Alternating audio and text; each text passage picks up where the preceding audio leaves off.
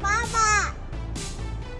You better be careful, you're going fast. Today I'm going to do a battery upgrade for the Jetson Bolt Pro. And contrary to the looks, this is not a length versus girth debate. This battery has the bigger capacity, stronger 48 volts, faster discharge current, and yes, it really pumps if you can handle it. This is a 48 volt, 8 amp hour battery and the primary purpose of this upgrade is to increase capacity and speed of your Jetson Bolt Pro and yes, both at the same time. Perform at your own risk. Your warranty is likely null and void after this point. In theory, this should fit like this and theories are always accurate. Bruh. I'm hoping that it all works out, but it's just one of these things that's slightly out of my control, like being a father. to remove the rubber cap, I have this small little flathead screwdriver. It will just pry it straight out. The screws are next. I need to unplug the power, but to get to it, I need to remove the zip tie. See if you could unplug this just so that you're working safely. There we go. I'm gonna try to fish this one through.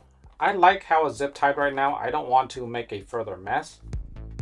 It's not gonna work. I'm gonna have to cut it.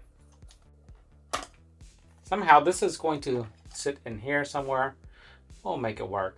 With my previous upgrade, I had the charger sticking outside of the bike, which is probably not the best way of doing it. And then I had a longer cable to reach to the power. This time I am going to flip it like how OEM is done. I will need an extension cable for the charger. It's going to be something like this and plug directly onto the original charging port.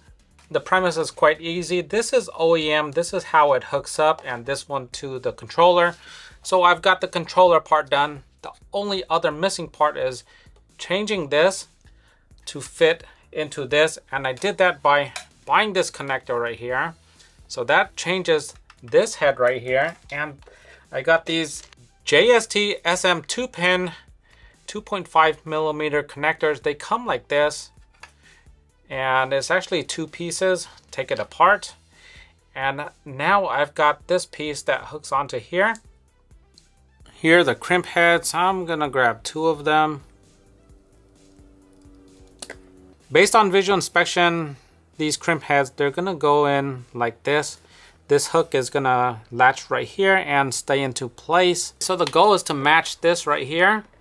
And we're just gonna crimp away. And you don't need uh, much working space right here, just a tiny bit.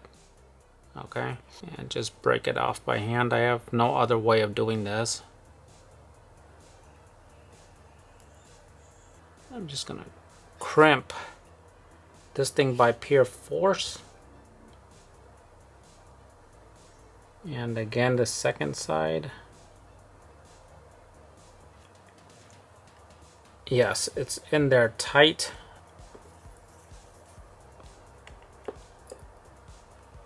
See, I wrapped his head around. The JST one, you're gonna cave it. It caves in the crimp. However, I don't have a proper JST crimp, so I'm just using these pliers.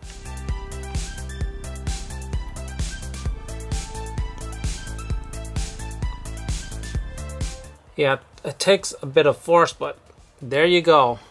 Time to remove the battery. Let's see how this one fits in there. So right off the bat, it's not going to fit because of this controller. Let's remove that. Okay, so what I see is that this thing right here might prevent from installing and this definitely prevents from installing. So I'm going to remove this one first and I'm just going to remove uh, a little bit of this as well.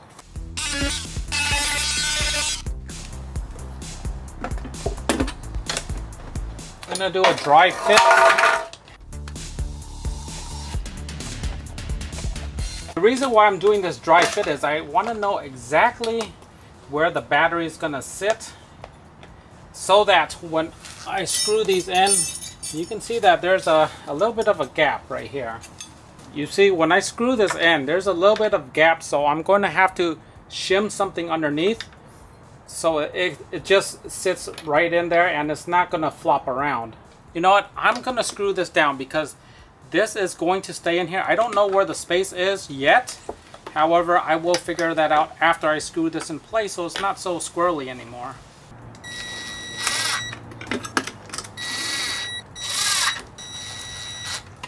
Tucking all of this in. Okay, so I'm gonna plug this in.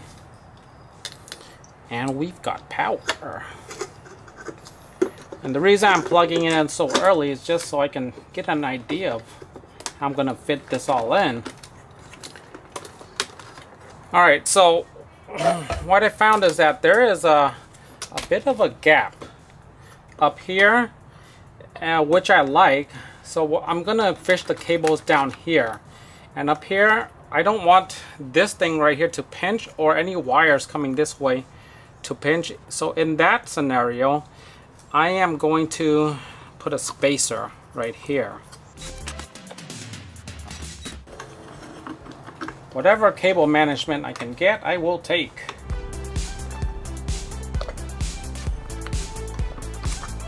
Up here, it should be okay because it's going to be pressed up against that corner right there. It can't move forward anymore. But here, it can't really move backwards. I just don't want it to move downwards.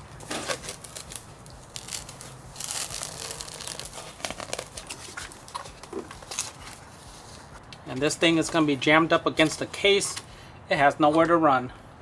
Before we put back everything together plug in the original power charging cable.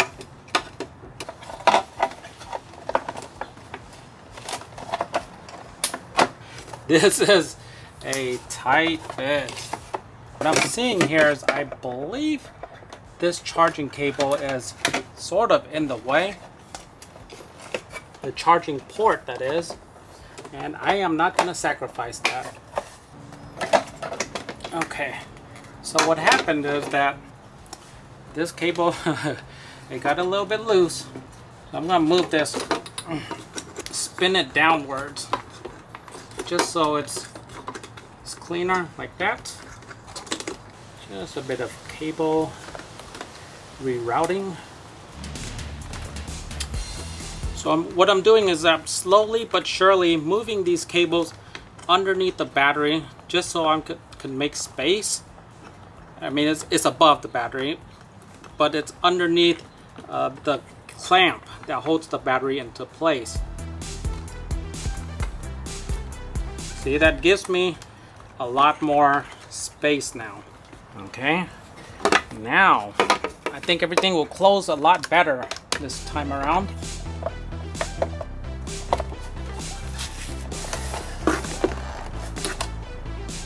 Alright, this is not necessarily a problem, but I think it would be a little bit easier if I simply remove this cover because I see it's it's getting jammed up in here.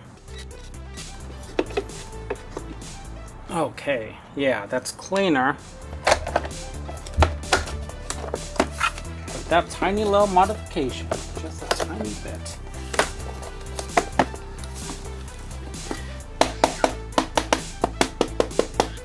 So this bracket just one side of the controller board it doesn't really have anywhere to go so it's not going to be a problem.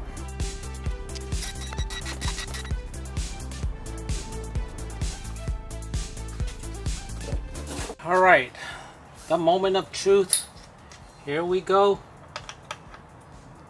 Charging 54.6 volts. So why did you want to get the upgrade?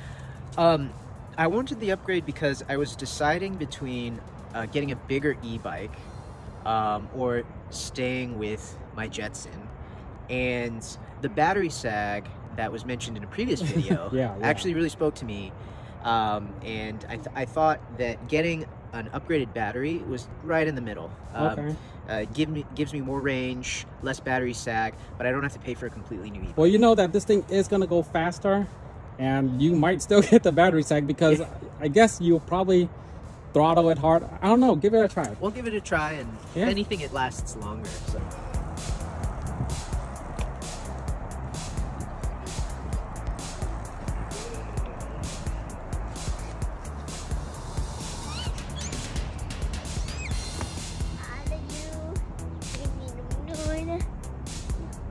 Wow.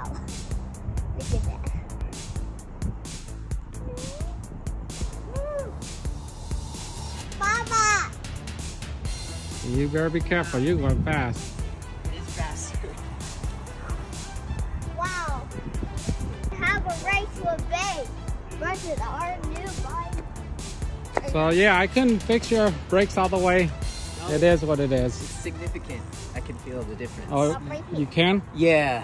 So this is um, already speed hacked, and now it's running 48 volts Yeah. with that 8 amp hour battery. I I used to be able to um, pedal as fast as I can go, hit the throttle, and feel nothing.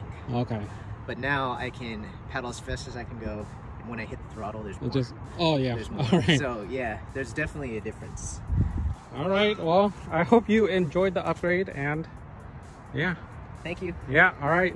I'll be sure to do a pin post on the speed increase of a 48 volt battery. So to recap just a little bit, moving forward, I am going to start using these thinner wires for charging rather than bringing a massive cable to route the power. Thinner cables cost less and occupy less space. Overall, it's a more efficient setup and with regards to a 48 volt battery, it will fit in the box. It will work with the stock controller and stock motor. There is a bit of work to do and it's probably worth it. Thank you so much for watching. Hope you thoroughly enjoyed the video. Be sure to smash the like button furiously, subscribe to the channel, and I hope to see you on the next one.